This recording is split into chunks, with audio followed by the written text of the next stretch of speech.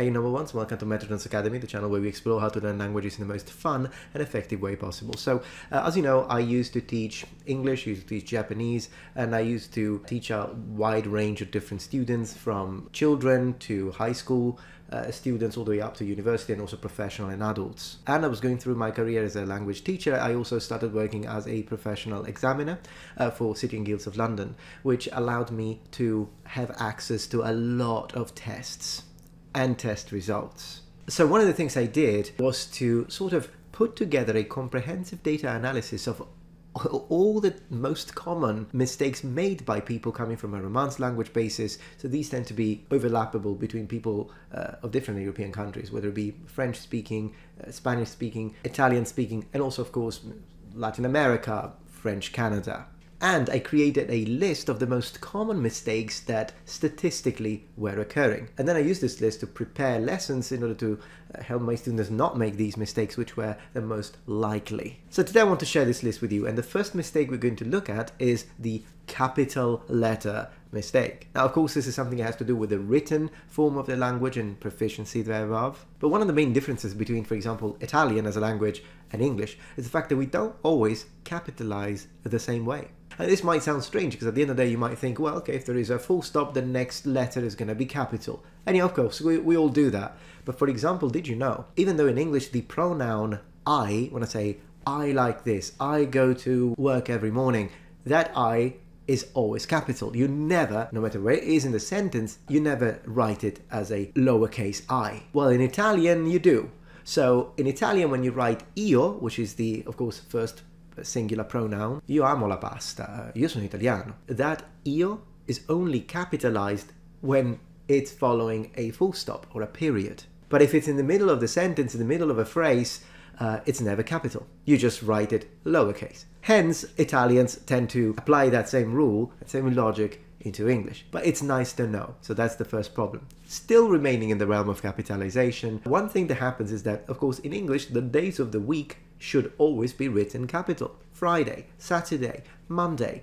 That's not the case in Italian, and as far as I know, it's not the case in Spanish or French either. Which means that, of course, Italians are never gonna cap it unless you tell them, as they are writing their letter and their essay in English, they are going to write Friday with a lowercase letter that's going to be a mistake. It's going to take points during a test, particularly if it's a proficiency level test, like international exams, and therefore they need to be prepared. Always capital when you write Friday or Saturday, etc. The last one, which has to do with capitalization that we do differently, is in English, if you're writing the word English, Italian, French, Spanish, all of these are capitalized, whether you're using it to mean the language, the people, or even if you're just using them as an adjective. French cuisine. The F, still capital. Not the case in Italian. Uh, if you say parlo italiano, the I in italiano, lowercase. If you want to say voglio imparare l'inglese, I want to learn English. Inglese, the I, lowercase.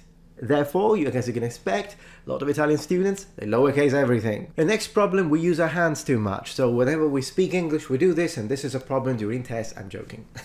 I mean, I'm not, but it's not a problem. I never learned this one, never will. Always use my hands. Another one that is kind of fun is how we use the article, and here I kind of want to speak a little bit more in general terms the way English uses the article the is actually quite unique in the sense that an Asian speaker, I'm generalizing here, but usually will tend to not use enough articles and they'll drop the the because they don't use them in their languages. An Italian speaker, however, will overuse articles and will put the everywhere because we use articles a lot more in our language than you people do in English. And also we have a lot of articles. I mean, you guys have the and we have illo, la, igli. Yeah, I don't know, don't ask. Okay, so let me give you an example. This is something I used to teach my students a lot. So when you say a sentence such as, in English, such as, I like cats. So you're talking about cats in general. You don't put the article. But if you talk about a specific cat, I like the cat my cousin bought in London, then you do put the article because you're not talking about the category, you're talking about a specific cat. In Italian, it doesn't matter you put the article anyways. So when you speak Italian, you say mi piacciono i gatti. I like the cats, and that's how we speak. Therefore, that's what Italians tend to do. They will add the article uh, because that's what we do in, in Italian. So Italian speakers who are not very fluent in English or still haven't mastered the structure, the syntax, uh, they will say, Oh, I really like the pizza. I love the red cars. Or if they're really beginners, they'll say, I like the cars red, because we tend to put adjectives after nouns. Usually, not always. Make a dedicated video.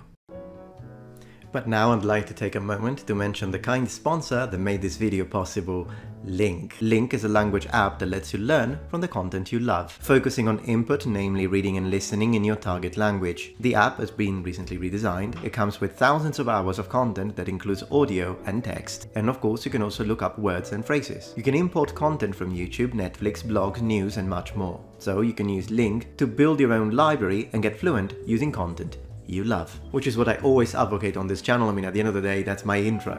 But LingQ has a lot of other positive aspects. For example, you've got a plethora of languages to choose from. And when it comes to my own experience, I've been using LingQ to brush up my Japanese and to reach fluency in Mandarin. So my focus on the app has been more intense for Mandarin, I have to say, impressive. LingQ also tracks your statistics, it's available on mobile, and it was co-founded by Steve Kaufmann. Pretty sure every one of you already know who Kaufmann is.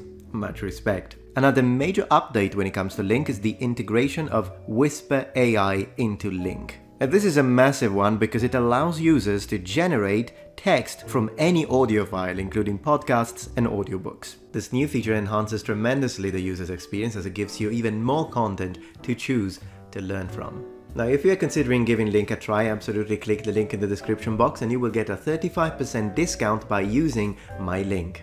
And big thanks to LingQ for sponsoring my channel.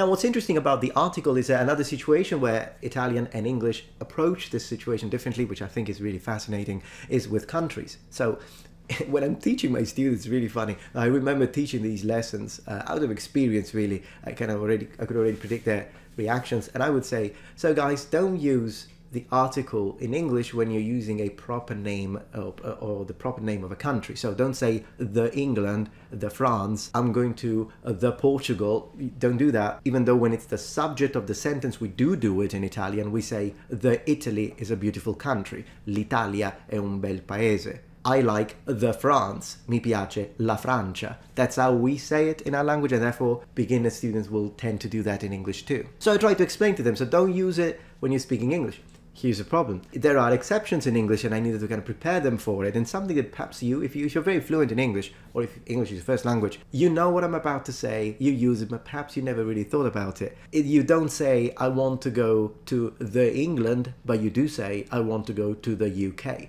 You don't say, I want to go to the America, but you do say, I want to go to the United States. And that is because United States, United Kingdom, the Netherlands, these are all common nouns, as opposed to proper nouns. So little exception in there. But even with the proper noun situation, when you're like, yeah, okay, but it's not difficult to, to remember, just don't say uh, the England or the America. There is a situation where you would. Let me show you. Look at the sentence. This is not the England I used to know. This is not the America I used to know. As you can see, deep subject. Perhaps I should make a dedicated video. But yes, articles can be a problem and you need to prepare your students for it. For instance, I saw the Queen, but I saw Queen Elizabeth. You don't say I saw the Queen Elizabeth because you place the name. In Italian, just put the article everywhere. Modal verbs is another one. So there is, for those who don't know, there is a category of verbs in English which are considered, which are called modal, and that is because they they have the kind of their own special rules. It's usually nine depending on the book. Some examples are the verb can, will, must, could, would, should, all of these are considered modal verbs. Now, what's interesting about modal verbs is that they act in a little bit of a weird way, which, once again, you might have not noticed if you are very fluent or you are a native speaker. But as an Italian who's learning English, these can be a freaking nightmare.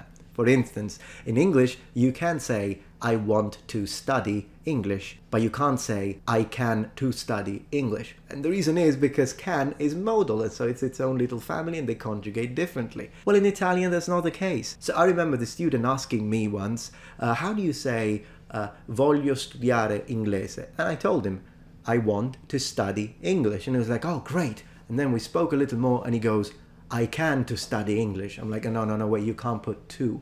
He's like, but you said I could.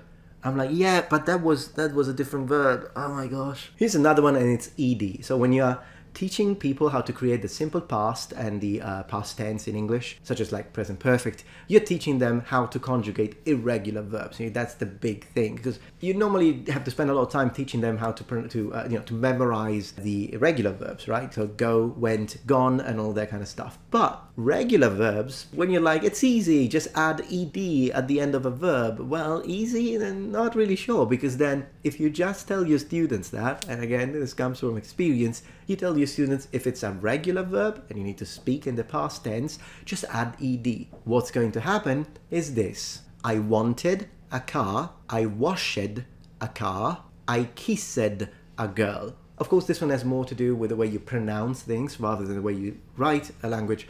Uh, but it's important to also tackle this and explain to Romance speakers that yes, you spell it ed, but English is nuts when it comes to spelling, so the way you pronounce the ed will strongly depend and will be influenced by the letter that precedes the e. For instance, in the word kissed, you pronounce ed as a t. Just freaking spell it T. But yeah, you pronounce it like a T because there is an S. Wash, there is SH sh sound, so washed. Walk, walked, etc. So it depends on the letter. But if there is a T, you fully pronounce ed, so wanted is correct. No one says want.